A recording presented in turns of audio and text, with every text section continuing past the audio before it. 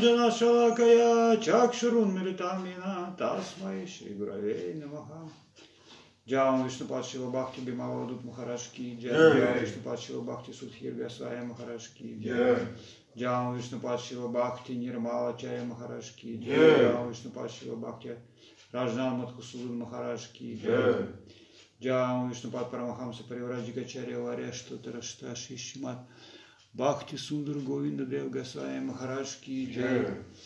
Джаун Вишнупад Парамахамса Паривраджика Чаря Варешту Тарашта Шишимат Бхакти Ракшак Штардев Гасая Махараш Ки Джай. Джай Бхагаван Шива Бхакти Сидан Сарасвати Такур Прабхупад Ки. Джай. Джай. Вишнупад Шива Гаур Кишор Дас Бабуджи Махараш Ки Джай. Джай Вишнупад Шива Сачитананда Бхактинот Такур Ки Джай. Джай Вишнупад Шива Джаганатха Дас Бабуджи Махараш Ки Джай. Ширупану Гуру Варви Ки Джай. Намачаря Шива Харидас Такур Ки Джай. Анант Коти Вайшнава Вринда Ки Джай, Читани Сарасват Мадхачаря Вринда Ки Джай, Джай, Шипат Виджараман Прабhu Ки Джай, Джан Вишнупат Вишваренем Шивачи Вахтидан с вами Прабхупат Ки Джай, Шигуру Парампара Ки Джай, Джай Саная Савритнда Ки Джай, Джай Сапарикара Шигуру Гуранга, Ганхарва Гиридхариджи Ки Джай, Джай Ши Гирираж Гавардхан Ки Джай, Джай Ши Нрисимха, Дев Прахлад Махарадж Ки Джай, Джай Шимати Туси Махарани Вринда Деви Ки Джай, Бхакты Вринда Ки Джай, Дандаваты всем преданным Ки Джай. Харе Кришна, да, преданные Дандаваты всем. Вчера рада всех видеть сегодняшним вечером. Харе Кришна, надеемся, что у всех более-менее нормальное настроение, если хорошее, вообще хорошо. Что сегодня прочитали все мантры, почитали какие-то писания, послушали лекции – вот, совершили какое-то служение, индивидуальное или совместное. Вот. Так или иначе, сейчас каждый из нас находится в каких-то своих собственных условиях, в окружении людей, в окружении родственников, в окружении еще кого-то, кто-то один, может быть, сидит. Вот, но так или иначе, вся ситуация такая, что Господь расставил всех по своим местам, чтобы мы могли переосознать, переосмыслить многие вещи. Вот поэтому пока что сидим, осознаем, сколько еще будем сидеть, неизвестно, но так или иначе, время в любом случае, любое время, оно благоприятно, если, если оно потрачено э, с духовными целями, если наше время тратится на прославление Господа, на воспевание Его славы, на попытки осознать что-то э, в отношении себя, Господа и окружающего мира, то тогда вся наша жизнь, она идет очень гармонично. Поэтому сейчас продолжим читать нашу книгу «Проповеди хранителя преданности», часть первая. Сегодня начнем читать главу первую «Дорога домой». Парамананда, ты уже дома. Харе Кришна.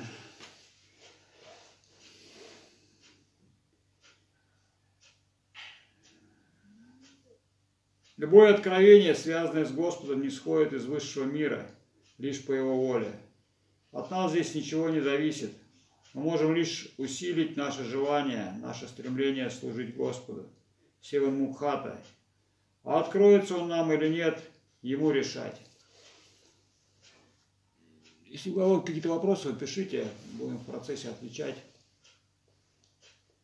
То есть мы от нас не зависит, на самом деле, от, от, о, том, о том, откроет Господь или на, себе не откроет. От нас зависит только желание. То есть мы должны усиливать это желание, стремление служить Северному хату. А откроется он нам или нет, это ему решать.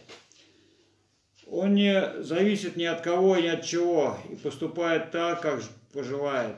Если захочет, он явит нам себя. Мы, мы же можем увеличить в себе жажду оказаться в его присутствии. Крохотные частички его энергии, мы полностью зависимы от него.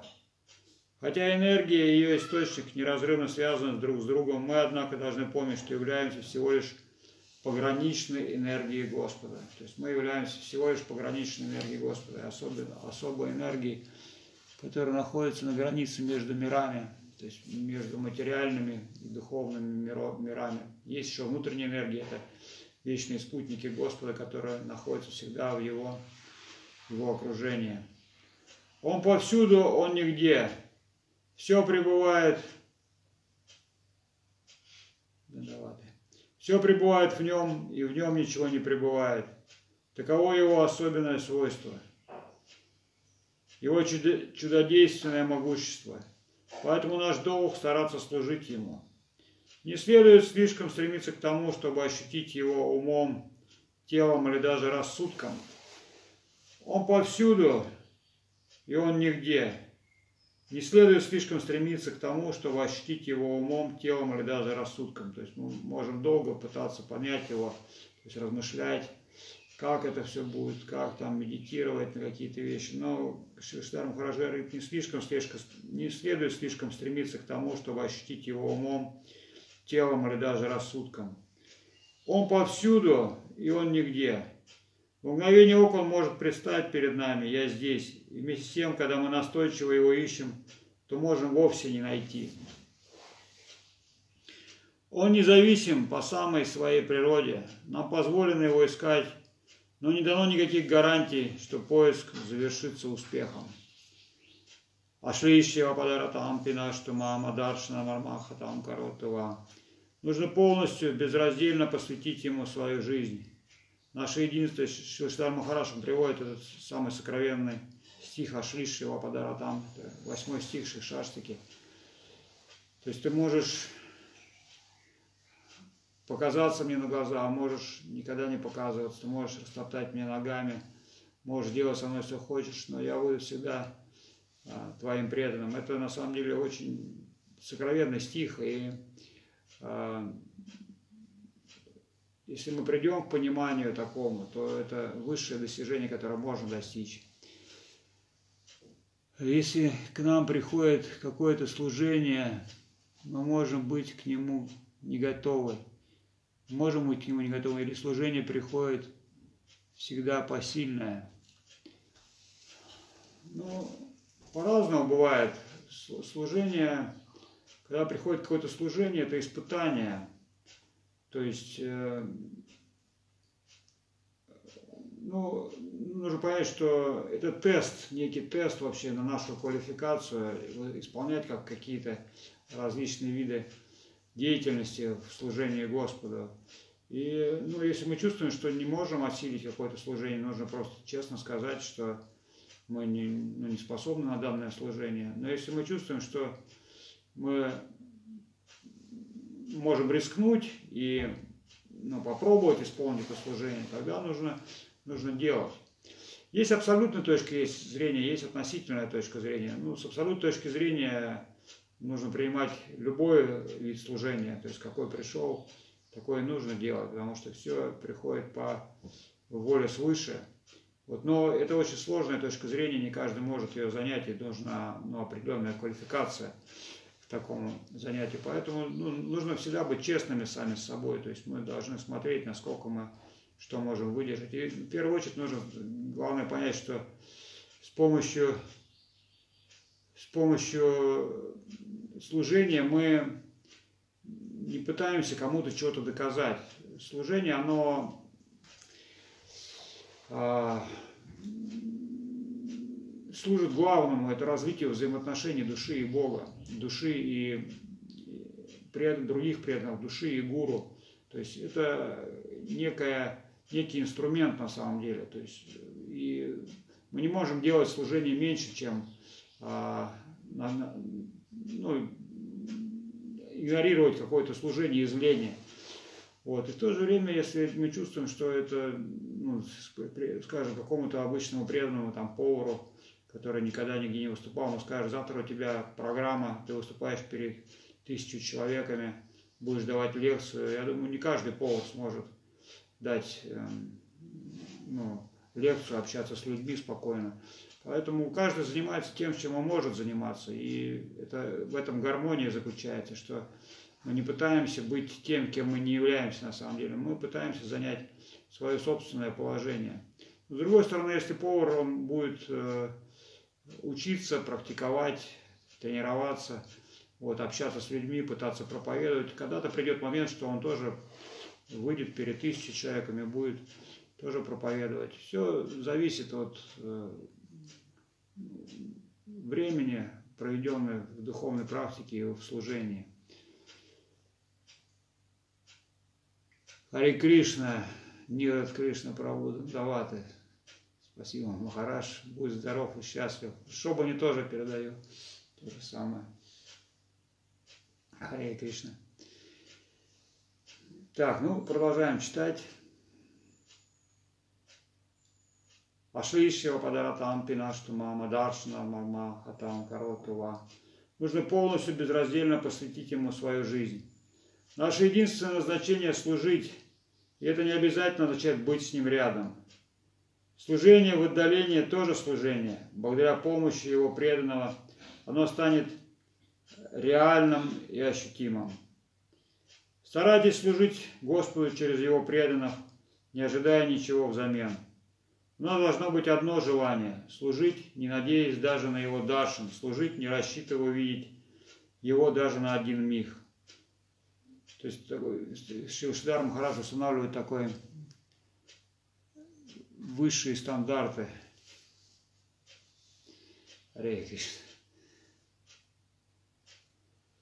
Старайтесь служить Господу через Его преданных, не ожидая ничего взамен. У нас должно быть одно желание – служить не надеясь даже на его даршин, на его общение, служить не рассчитывая увидеть его даже на один миг. Нужно полностью отдать себя исполнению его воли. Те небольшие силы, что у нас есть, нужно посвятить ему. Мы его энергии должны доказать ему свою верность. Те небольшие силы, что у нас есть, нужно посвятить ему. Даже понять, что у нас, ну, мы думаем, может, что мы какие-то великие души, которые могут разруливать какие-то ситуации в этом мире. Но на самом деле мы должны понять, что у нас очень ограниченные силы, очень небольшие силы.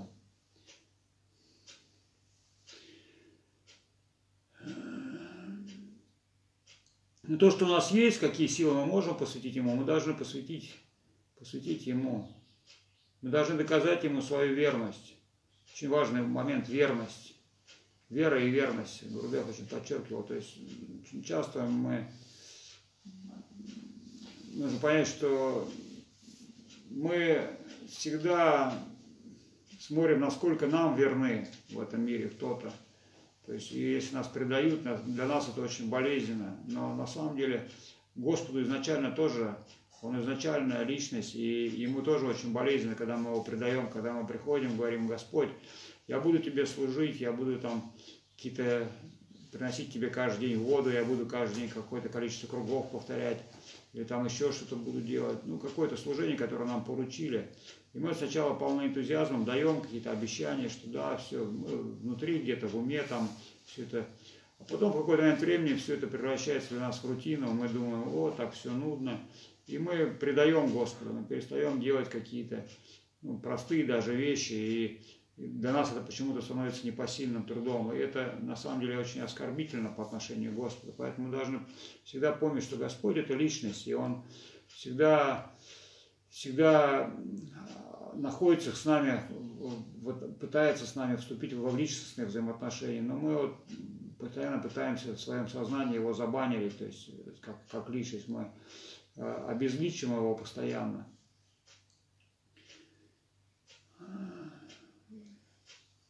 Махапрабху говорит, он волен обнять или оттолкнуть меня, или даже остаться ко мне равнодушным.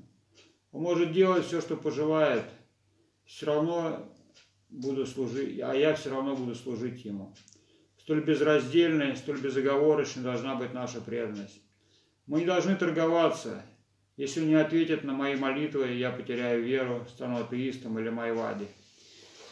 Если ты не будешь мне угождать, ты мне не нужен, я пойду своей дорогой.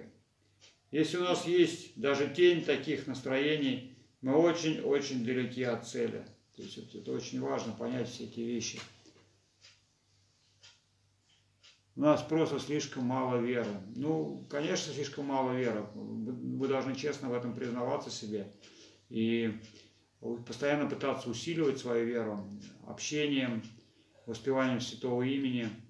Это самые могущественные методы служения преданным. То есть в процессе, в процессе нашего служения, в процессе нашей духовной практики, наша вера, она из года в год растет. Вот. Если ты не будешь мне угождать, ты мне не нужен, я пойду своей дорогой.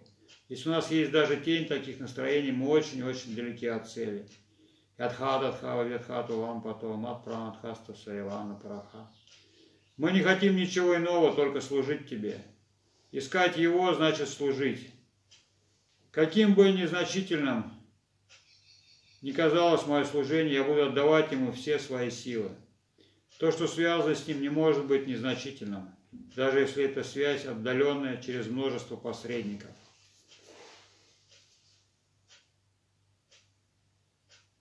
Харе Кришна, Дандаваты. Побочные эффекты от Махамантры. Что это?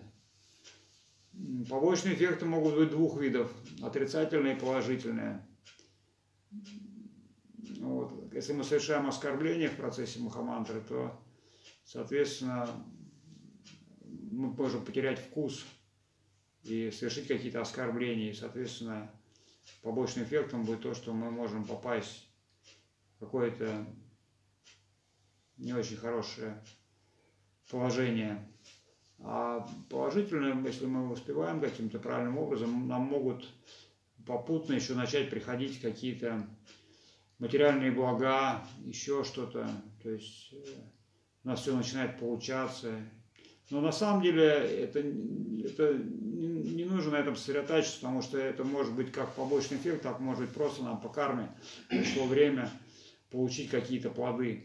Сегодня часто ну, преданные, мы сталкиваемся с таким моментом, что преданные, которые начинают воспевать Святое Имя, они говорят, вот я начал воспевать Святое Имя, и тут мне как бы вот поперло, как бы, вот у меня все в жизни стало получаться, все стало хорошо. Вот, и они так вдохновляются, связывают это с тем, что начали воспевать Святое Имя. Вот. Но это не всегда так. Возможно, просто пришло время хорошей кармы. А бывает наоборот, что преданные начинают воспевать, и потом говорят, вот я только начал воспевать, и потом у меня все начало в жизни рушиться, все вся жизнь под откос, все стало разваливаться, там семья, э, с работы выгнали, все остальное. И начинают бояться воспевать Святое Имя. Но на самом деле, как первое, так и второе, то есть и что все получается или все разваливается, это не, не факт то, что это последствия самого воспевания, потому что само воспевание, оно лежит совсем в своей собственной субъективной плоскости. И то, что к нам приходит, это на самом деле последствия наших плодов, а, каких-то каких дел наших, греховных или благочестивых. Вот. А что касается побочных эффектов, они есть побочные эффекты. Например, побочный эффект воспевания святого имени – это освобождение. То есть живое существо, оно освобождается от материальных привязанностей и потеряет, теряет интерес к этому материальному миру. Такой может быть побочный эффект. Харе Кришна.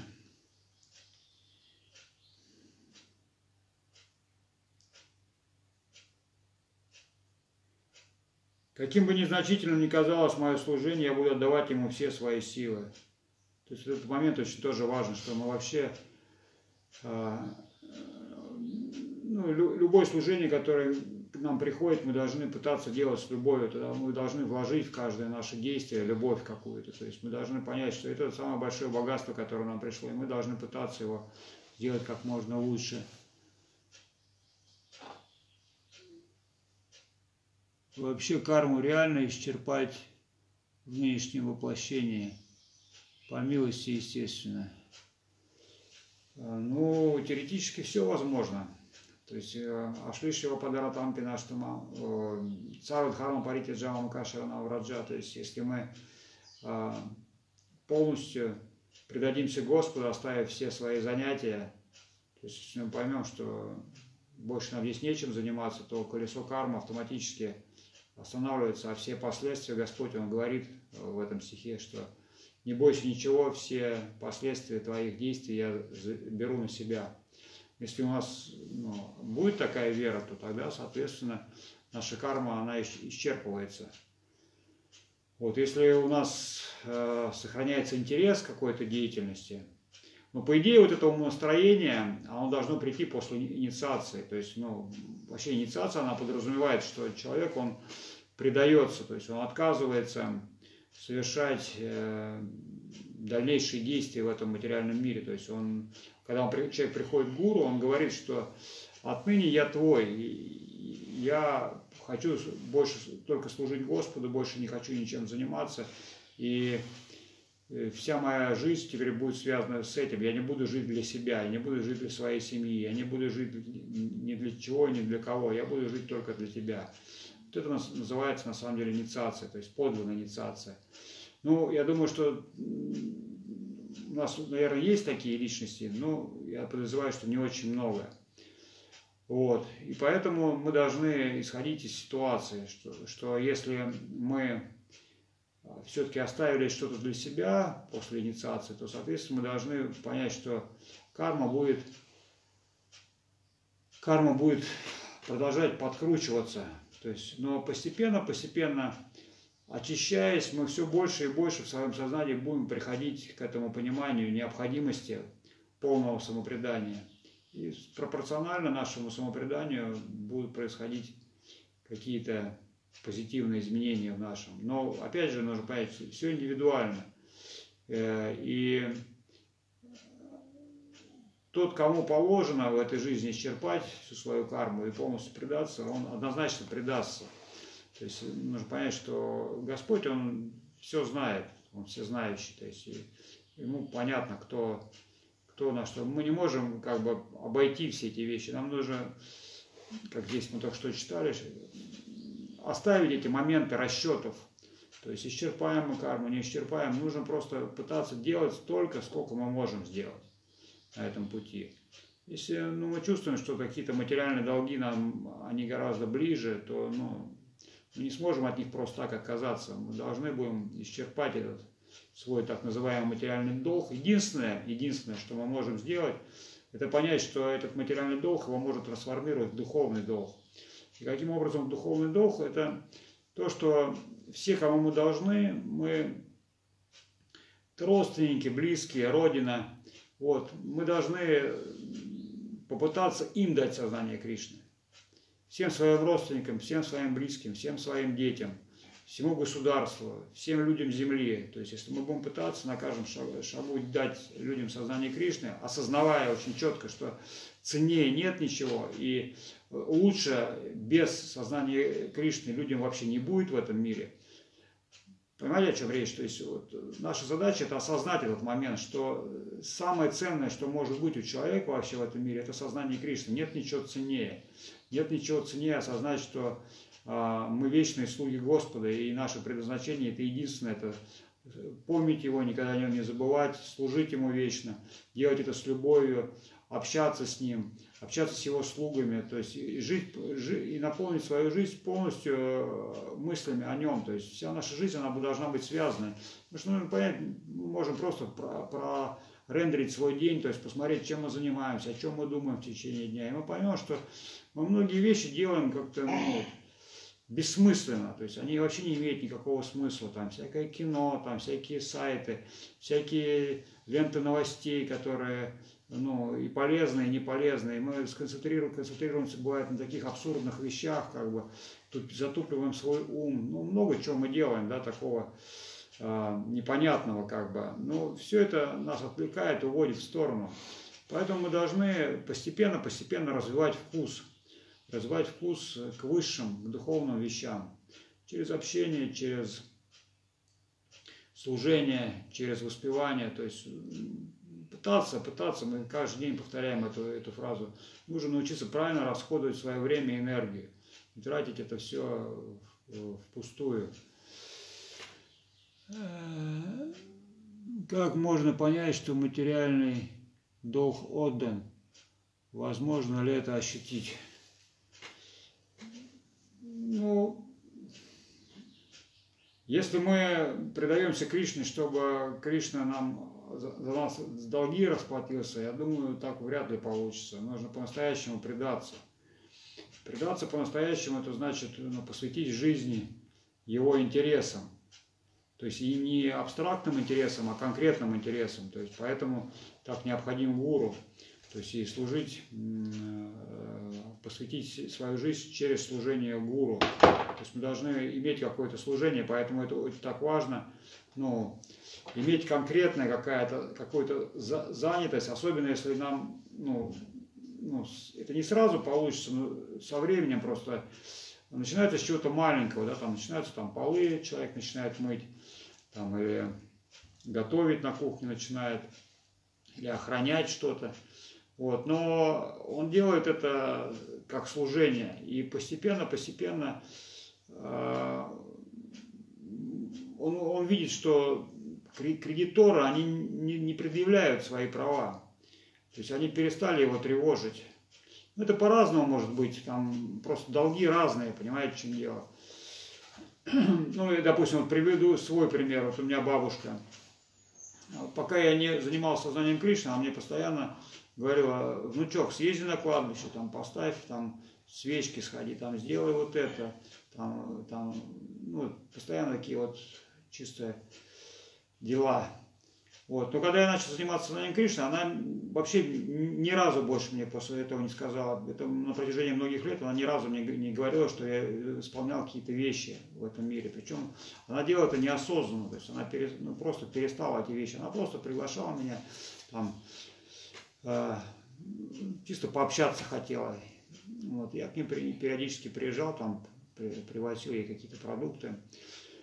Вот. И так оно было. Но всем остальным родственникам она моим, она постоянно, как бы сказать, пилила мозг вот этими вещами всеми. Говорит, ты должен съездить это, вот это. Это вот то, как долги, они висят на нас. Это такой очень простой житейский пример, но это касается вообще абсолютно всего. Есть серьезные долги, там, мы можем там где-то в банке задолжать, где-то кредит взять, где-то можем еще кому-то задолжать, там, просто по жизни задолжать, там, рожать детей уйти, то есть нас будут постоянно тревожить эти, эти долги, то есть много чего может быть. Э, Махарадж, я дал обещание не нарушать режим с чтением Махамантры, и теперь у меня чудесное настроение. Ну, молодец, Сауми, что можно сказать. Ты должен продолжать в этом направлении всю свою оставшуюся жизнь.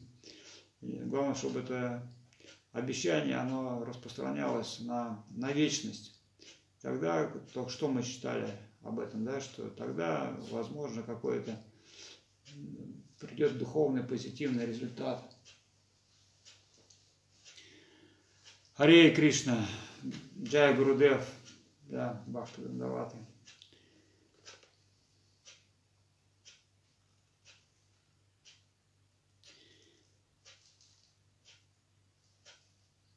То, что связано с ним, не может быть незначительным, даже если эта связь отдаленная через множество посредников. Он не обязан угождать мне, я не вправе требовать, чтобы он явил себя меня, явил себя, пусть даже на какой-то миг. Я не вправе требовать, чтобы он явил себя, пусть даже на какой-то миг.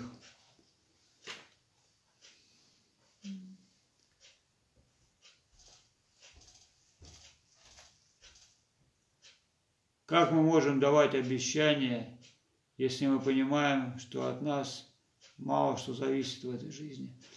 Ну, а, смотря какое обещание, на самом деле, что касается обетов, это очень могущественная вообще тема. И вот когда преданные дают обеты какие-то, а, это на самом деле очень ну, сильно, допустим, преданно может дать обед. Я буду читать вот утром сразу все круги, там, к примеру, да, там, буду соблюдать обязательно все икадыши, там, буду э, соблюдать все праздники, там, ну, это такой некий духовный обед. И когда преданный дает такой обед сам себе, это, это духовное, духовное обещание. Господь начинает его поддерживать в, этих, в исполнении, особенно если преданно искренен. И очень и в этом обете развивается очень сильно а, отношения между собой и Господом. Понятное дело, что мы бессильно исполнить какие-то вещи. Но вот эти обеты, именно духовные, с искренностью, с пониманием, что мы слабы, но а, мы стремимся к этому. Это на, наше богатство на самом деле. То есть вот это, каждый из преданных должны дать э, должны давать сами себе какие-то обеты, сами себе какие-то обещания. Вот. Естественно, что могут быть приходить различные проверки, вот, но мы должны приходить. Мы, когда ну, читаем повествования о великих святых, о великих героях, там, Махабхарата, к примеру, да, там мы видим везде, что они всегда дают обеты какие-то, дают, я там такой-то, такой-то, даю обет, что я буду, или клятву даю, что я сделаю то-то, то-то и то-то. Это такой очень могущественный стимул.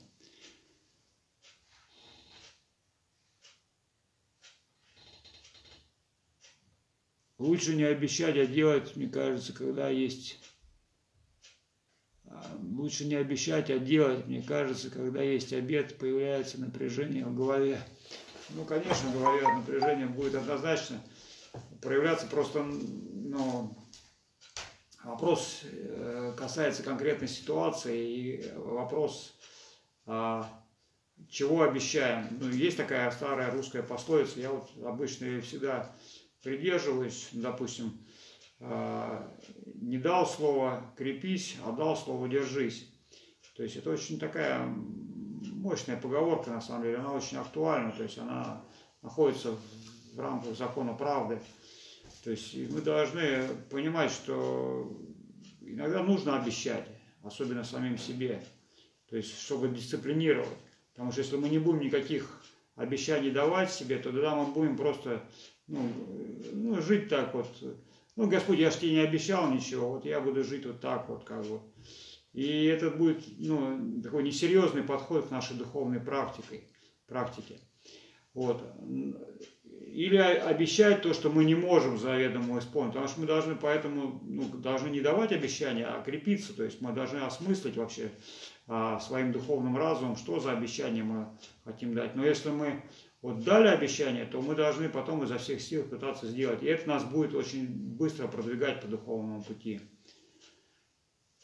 А главная боль это хорошо, понимаете, напряжение в голове Господь это ценит на самом деле, что если головная боль в связи с Ним, это если мы даем обещания какие-то, за какие-то материальные вещи,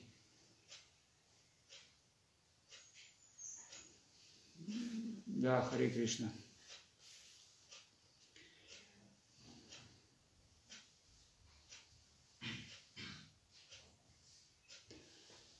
Так, сейчас немножко еще посчитаем.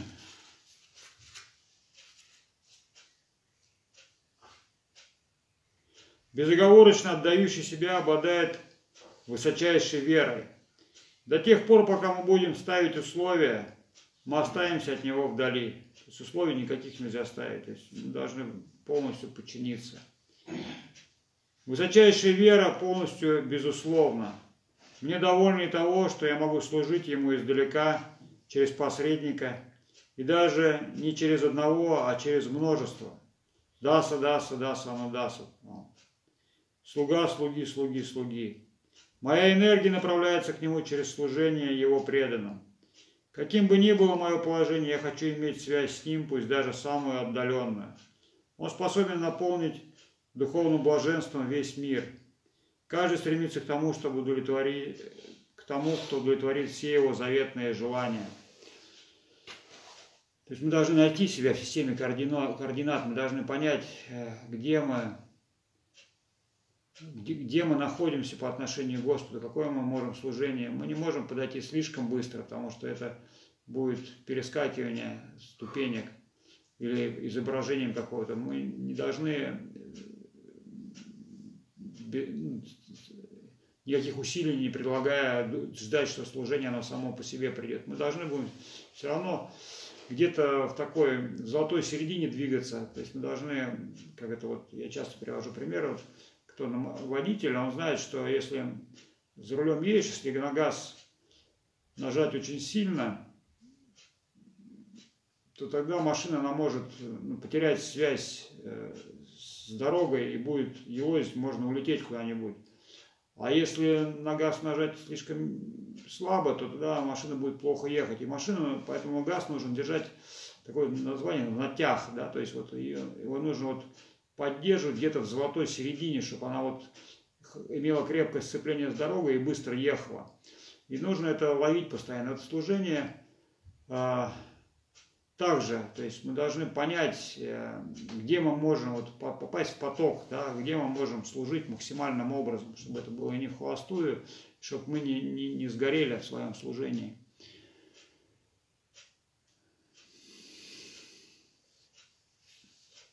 Харе Кришна.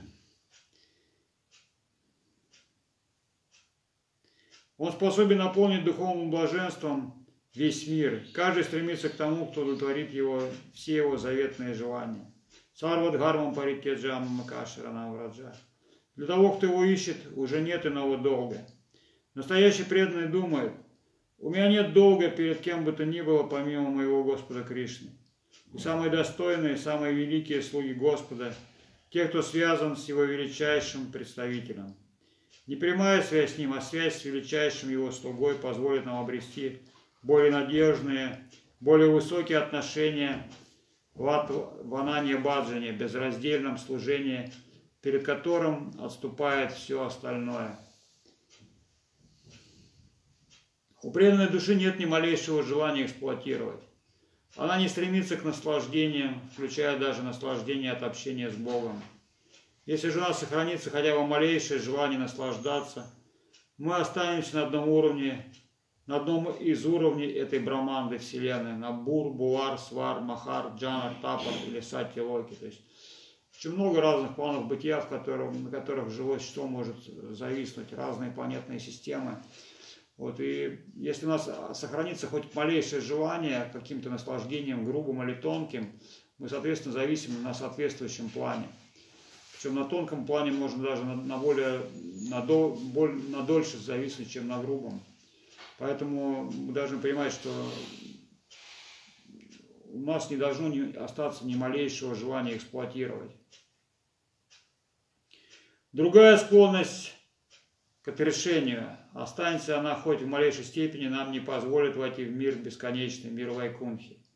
Все, отречение, то есть мы поняли, что этот мир э, такой негативный, что за все нужно платить, платить страданиями, работать не хочется – и мы, то есть служить не хочется, и мы думаем, ну, тогда я просто не буду ничего делать, если мне все равно все так сложно, все так трудно, что неизвестно, прольется милость, не прольется, и я ну, забью на все и отрекусь от всей деятельности, пускай все, ну, как Штарм хорошо говорит, забастовка такая, да. Вот, и это тоже не очень негативно. Останься она хоть в малейшей степени, нам не позволит войти в мир бесконечности, мир Вайкунхи. Кунха значит ограничение, Вайкунха – мир безграничный. Мы хотим стать обитателями мира бесконечности. Когда мы пытаемся ограничить бесконечное, имея свои корыстные интересы, мы оказываемся в мире конечного. Наше эго хочет подчинить себе часть бесконечного и думает, вот мое царство, вот друзья моего царства – все, что мы не увидели сквозь призму наших собственных желаний, все это майя, заблуждение, ложное понимание бесконечного. Все это следует искоренить, как и склонность к отречению. Если я не могу наслаждаться, то не буду работать. Я объявляю забастовку. Такое пессимистическое настроение тоже вид эгоизма. Так, ну читать мы сегодня закончили. Это вопрос еще. А как же тогда анандам? Это же природа души. И по идее, совершая служение Господу, мы пребываем в этом состоянии анандам или нет? Анандам – это следствие нашего правильного настроения в момент служения. То есть анандам оно не придет, если мы имеем какой-то интерес, какую-то корысть к эксплуатации или к отречению – то есть, если мы бескорыстно служим, тогда нам да, в принципе, даже естественно. То есть, мы можем на своем просто опыте. Причем оно происходит, а, как правило, в настоящем моменте. То есть вот пока мы служим, в этот момент является анандом. Вот, как только мы начинаем э, пытаться наслаждаться э, этими всеми вещами, это все уходит. Поэтому у каждого преданного есть этот опыт. Там, взял веник, начинаешь мести и думаешь, вроде делаю какое-то такое очень простое дело, а откуда-то счастье берется. Ну, это самый примитивный пример на самом первичном этапе нашего соприкосновения с преданным служением. Просто со временем, если мы служим долго во времени, нам приходит более объемное, более ответственное служение, более постоянное, более длительное. И оно может быть связано ну, с таким понятием, как потеря энергии, да, или и тут нам, нам могут э, еще вкратце некие побочные мысли, которые связаны с самоутверждением, скажем, я такой крутой, преданный, да, я так во много во всем разобрался, у меня самоответственное служение, я теперь самый большой. Это братишка появляется. Соответственно, преданный опять э, теряет ананду, потому что появился ну, побочный, побочный интерес. Мы только что читали, что если осталась даже хоть какая-то капля эксплуатировать, эксплуатировать можно разными способами, тонкими, грубыми. Вот, если по, по, по, а, осталось или появилось это желание каким-то образом еще эксплуатировать, то, соответственно, анандам она будет уходить. А копаться в этом мире не получится, выходит. Ну, получится, почему, если захотеть очень сильно, можно в аду окопаться. Вот, поэтому, но для искренней души она просто понимает бессмысленность окапываться. Ну, поэтому чем раньше мы все эти вещи осознаем, тем лучше для нас. Харе Кришна. Так, ну что, дорогие бхакты, на сегодня мы заканчиваем, поем. Ори Харая Нама Кришна Ядавая Намаха. Ори Харая Нама Кришна Ядавая Намаха.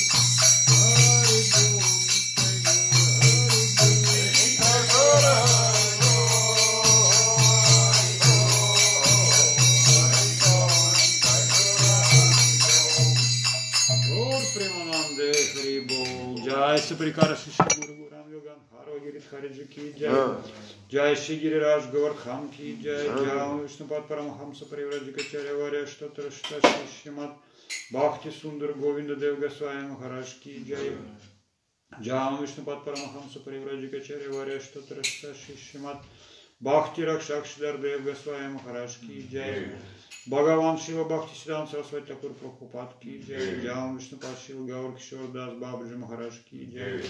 Джам Вишнупад Шива Сачитананда Бхактинат Такур Ки Джай. Джам Вишнупад Шива Джаганат Хадас Бабаджи Махараш Ки Джай. Ширупану Гуру Варга Ки Джай. Намачаря Шива Харидас Такур Ки Джай. Надпоти Вайшнава Ринди Ки Джай. Шибада Видя Пушна Ки Джай. Шива Вишванат Чакравати Такур Ки Джай. Шиналоттам Шимананда Шинивас Чаря Прабhu Ки Джай, Шива Вриндаван Дастакур Ки Джай, Шива Кришндас Кавираджа Ки Джай, Саад Госвами Вриндавана Ки Джай, Са Паршада Шинитянанда Прабhu Ки Джай, Са Паршада Шиман Махапрабhu Ки Джай, Джая. Шиши Рада Кришна Гопи Гопинат Шьяма Кунда Рада Кунда Гири Гавардхана Ки Джай, Шутха Бхакти Вигна Винаша Шинри Симхадев Ки Джай, Бхакта Прабара Прахлада Махарадж Ки Джай, Туласи Махарани Ки Джай, Ганга Ямунаджи Ки Джай, Грантарад Шимат Бхагаватам Читани Чаритамрита Ки Джай, Вишвайшнава Раджа Сабха Ки Джай, Ши Читани Сарасват Мат Ки Джай, Шилям Майпур Ки Джай, Шилям Набадвип Ки Джай, Бриндаван Пурушатам Дхам Ки Джай, Бадева Субхадра Джаганатха Ки Джай, Самаятта Вайшнава Мандала Ки Джай, Самаятта Бхакта Вринда Ки Джай, Харинам Санкиртана Ки Джай, Джаум Вишнупад Шива Бхакти Бимала Вадут Махарадж Ки Джай, Джаум Вишнупад Шива Бхакти Судхир Госвами Махарадж Ки Джай, Джаум Вишнупад Шива Бхакти Нирмала Чаря Махарадж Ки Джай, Джаум Вишнупад Шива Бхакти Раджнама Кусун Махарадж Ки Джай, Шри Читани Сарасват Мадхачаря Вринда Ки Джай, Джай Шри Пат Виджараман Прабhu Ки Джай, Джай Шива Бхакти Амрит Махавир Махарадж Ки Джай, Джай Шри Пат Бхакти Ашрай Данди Махарадж Ки Джай, Джай Ом Вишнупад Вишвариням, Шива Че Бхактидан с вами Прабхупад Ки Джай, Вся слава всем преданным Ки Джай, Нитай Гору Примананды Харибо. Jai Satrikara Krishna Guru Ramana Джай. Jai Джай. Махарадж. Всем Ки Джай. Дандаваты все бахты. Смотрю тут с Винницы, с Ульяновска. Всем поклоны, всем дандаваты, Гавинда там Сорске. Все, всем бахты, поклоны. Всем духовного прогресса, дандаваты. Все, до новых встреч. Встретимся послезавтра. Вот завтра у нас перезагрузка. Всем дандаваты, Нитай Гора, Харибол.